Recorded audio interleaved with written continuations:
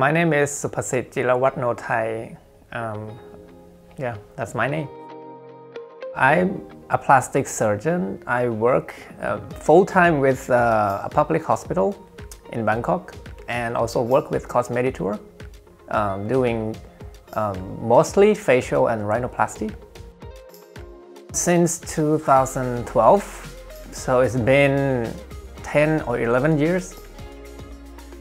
I have performed um, mainly rhinoplasty over uh, 50 to 100 a year and the other reconstruction would be more than that so probably hundreds or a thousand a year. I found a plastic surgery is challenging and also um, it's, I like um, seeing the patients happier and more get more confident when they get uh, this kind of uh, reshaping or um, rejuvenating operations.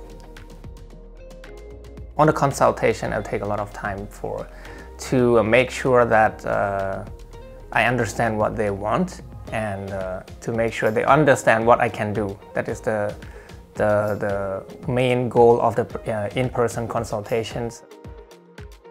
I enjoy doing uh, other facial reconstruction, especially the facial nerve, which is, uh, we have a lot of uh, facial paralysis, patients from tumor, brain tumor or uh, nerve injuries here in Thailand, so um, we can also uh, reconnect the nerve or reconstruct the nerve to make the face move again.